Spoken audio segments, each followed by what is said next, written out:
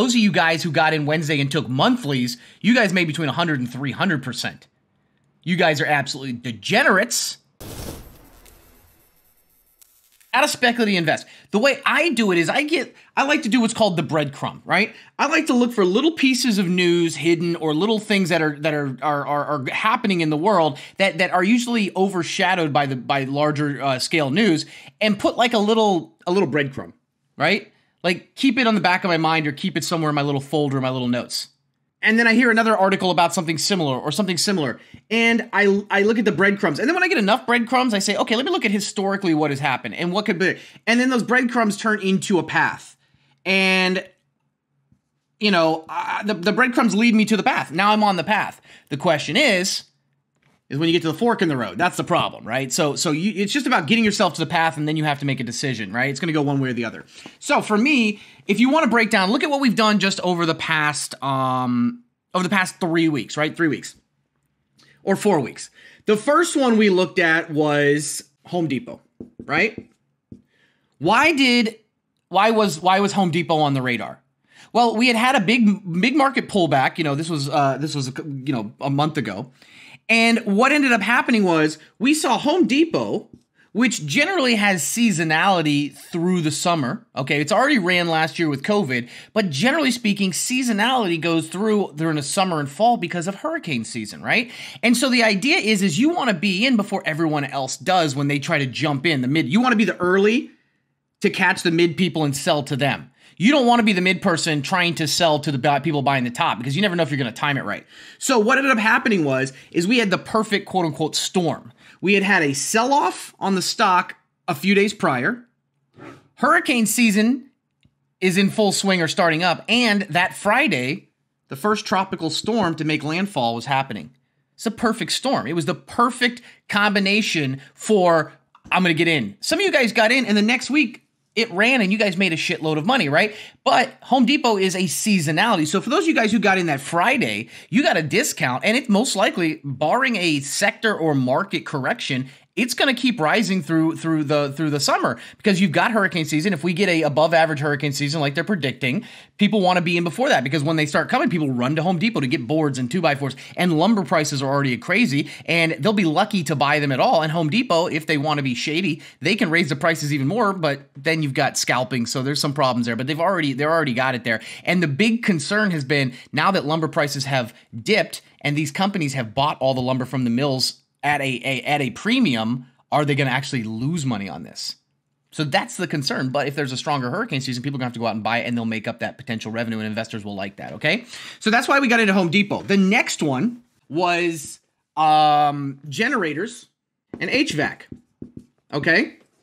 So how what what was it that led us to get into generators and HVAC ahead of time? It was the heat wave and the wildfire, right? So we saw a massive heat wave in the Pacific Northwest which generally is a temperate climate, right? In the 70s is what the is what the highs, the upper 70s, sometimes low 80s is the is the is the is the general you know high in the summer. So most people don't even have ACs. If they do, they haven't turned them on in forever. They turn them on once a year, or they don't they don't they haven't repaired them, or they just don't own them. So we saw this massive heat wave come in, and it was it was it was it was record temperatures for a while. So we knew that that would be a short term spike but then meteorologists were saying it's not going to stop. There's going to be another wave and another wave and another wave, meaning that people are going to have to either go out and buy ACs, fix the ACs they have, you know, do do maintenance repair, or more importantly, businesses that are open that have lots of people are going to have to either purchase or or or or re-up or recontract these large scale um, air conditioning uh, units, right? And we're not talking about like a, a heat wave in in in you know, Idaho, where there's like 80,000 people. We're talking about millions and millions of people and businesses, right? That's huge money. So that was the reason that a lot of people got into CARR, which, fun fact, has just been doing this the whole time. Easy money. Some of you guys are in CARR already making absolute easy money. Now, what is the reason behind generators? Get ready. This was GNAC and a lot of or GRAC or GNAC, GRAC. Um, a lot of you guys made good money on this. Why generators? What is it? What does any of this have to do with generators? Once again, it's speculative. This is how you get ahead of speculation as a, as a speculative trader, or even commodity traders do this. It doesn't mean it's going to play out, but it gives you a chance to get in before everybody. All of these air conditioners, whether they're in people's homes, in businesses, in offices, in, in, in, in anything, take up a lot of what? Power. Now, what happens when a power grid that is generally set at a certain level and, and capacity gets a massive, massive inundation of new power, can overload the system. And either it goes out, or what we ended up seeing was mandatory blackouts.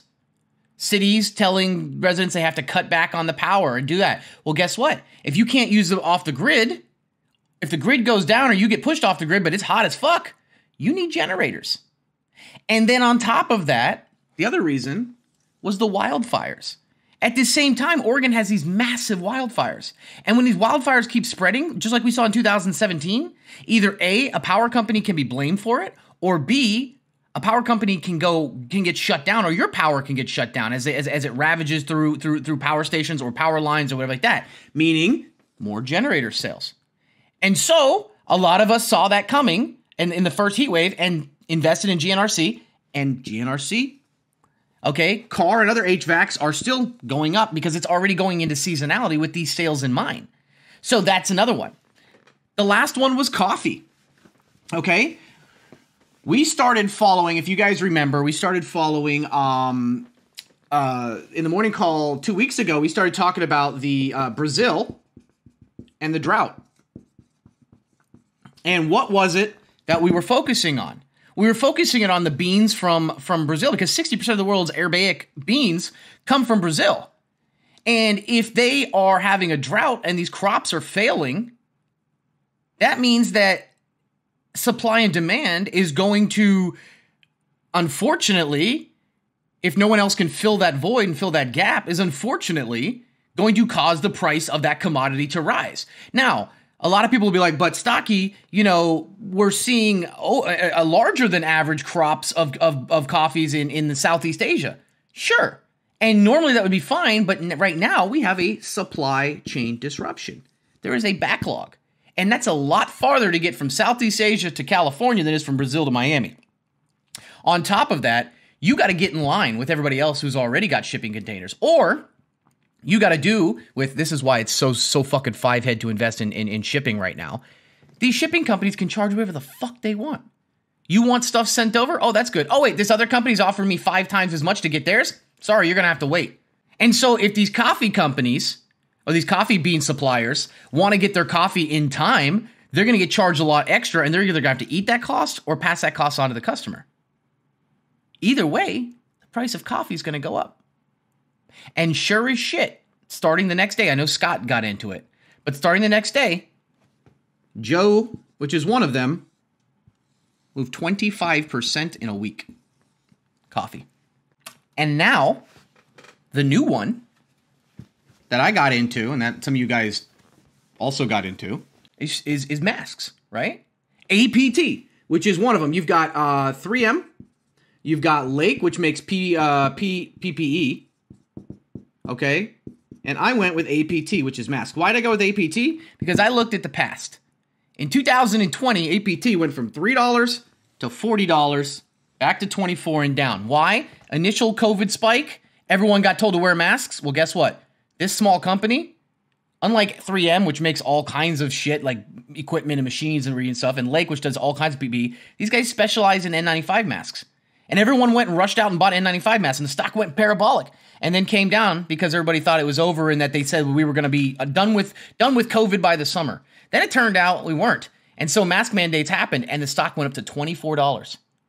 And over the past 6 months it's been falling because vaccination rates have gone up and travel has opened up and everything like that. But last week, remember, we started talking about it in the morning, Los Angeles First it was EU started with ma- bringing back mask mandates. Then we saw Los Angeles county, massive county mandates. So we started following these breadcrumbs. And then what happened? That was on Thursday, Wednesday. Thursday, I got into APT leaps. Friday, San Francisco and New York City are in talks of bringing back mask mandates. Look at the news today.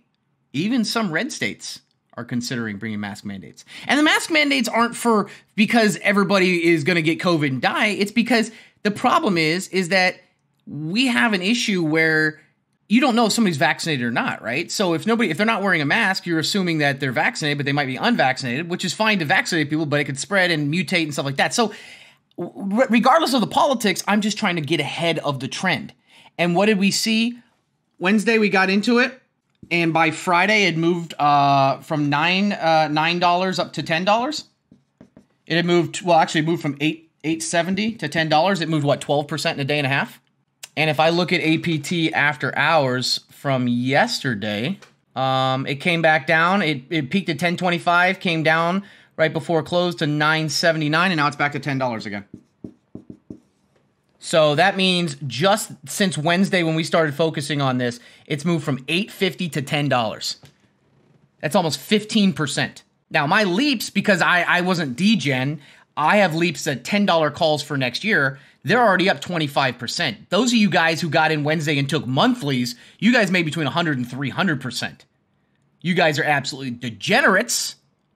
But um, my only problem is, is that I took a it's not a problem. It's a good problem to have. I took a smaller position than I had wanted to, but I've been trying to be more careful with uh, with uh, with positioning because the market's so volatile. So when I used to take something that would be like you know three or four thousand dollar leaps, I'm taking like twelve to fifteen hundred dollar now because the market's so volatile. And if I'm wrong, I don't want to get fucking wrecked. And I've been been profit taking a lot earlier than I usually do. Um, but but so that's what I've got. So for those of you guys who are are looking, let me let me show you my position here. Yeah, I know I'm tired, guys. It's it's I have a baby. Okay. Um just to show you guys my position right now so you can understand. And now remember, you're not always going to be right about uh, about uh, getting in ahead of things and speculatively trading, okay? But the idea is to get in before everyone else. And the cool thing is, is that if you get in and nobody else gets in with you, you can just cut your loss and move on, right?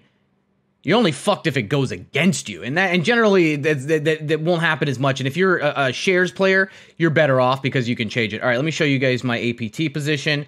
Um, small position, but I'll show it to you anyways. Let me get a screenshot here. So this is the one that I took on Wednesday.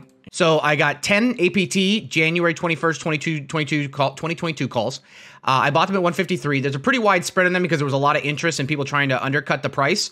Um, but that'll tighten up as we get closer to uh, to the day. Mid mid range price was at 190. Uh, I only have 10 at an average of 1530, but uh, I'm already up 20 percent. So um, they're at 1905, and this has only been three days. Now, obviously, it was much different if you were in, you know, let's say a short dated option, like a degenerate. Uh, for example, if you were in, um, you know, uh, a, a July 30th $10 call, they were uh, $37 on Wednesday, and they closed it. Uh, they got as high as $100 yesterday, so it was 200%. But obviously, something like that you don't want to uh, you don't want to mess with because remember you're you're looking for um, a trend, and if you put too much money in and you don't catch the bottom before the bounce up, you could get wrecked. It's like with Hut, right? Like look at Hut. I got into Hut um, when it was right around five dollars, and I got seven dollar and fifty cent next year calls because I was expecting uh, Bitcoin to kind of flatten out around 30 and move back up to like 36, 37, but I timed it incorrectly. And it actually got all the way down to $3.45. But, but remember, I told you I'm planning on holding this for a year. So even though I didn't time the exact bottom, just so you guys are aware, this moved up an additional 7% after hours. It's sitting at 436 right now, so it's sitting right here. So even though I did not time it correctly, and that's why for a lot of you guys, you want to look for very, very long distance. Uh, my newest YouTube video, if you go look at it and like it, drop today. It's about covered calls and leaps, and this is why leaps are important. Yeah, it's not going to make you as much money uh, in, in, a short per, uh, spurt of time. But you're also not going to get wrecked nearly as much. This thing has moved 30% in the last three days. Still down, still down, but it's moved 30% up. So I was looking at this for a year. I didn't time the bottom, granted but I'm speculatively looking at this. Now, this is a whole different type of speculation. I'm doing this off of a guess of Bitcoin. There's no like news coming out like these other ones that we just broke down with uh, how we broke down with Home Depot in hurricane season, with uh, um, HVAC and generators, with uh, the heat wave, the power grid uh, failure, and uh, wildfires, um, with uh, coffee, with the news in Brazil, and we we, we got we, we front ran that, and APT, which we're front running right now, potentially with the mask mandates, which I was looking up over here. you know, they're they're they're they're looking um, they're looking all across the the country right now um, for uh, for for that. Um, the only one is Florida, of course. Even West Virginia's talking about it. It's just the rumors. So that that's where the money's coming from. So uh, will I make that a YouTube video? What the the whiteboard? No, nobody wants to hear my boring shit about how to be a speculative investor.